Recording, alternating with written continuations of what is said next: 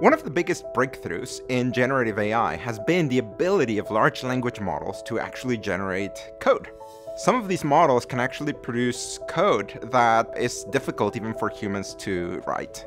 However, as we probe deeper, we find that they're actually quite different from the way programmers think about code. They have different skills, they have different capabilities, and so what we find is that they can provide substantial help if working collaboratively with a person.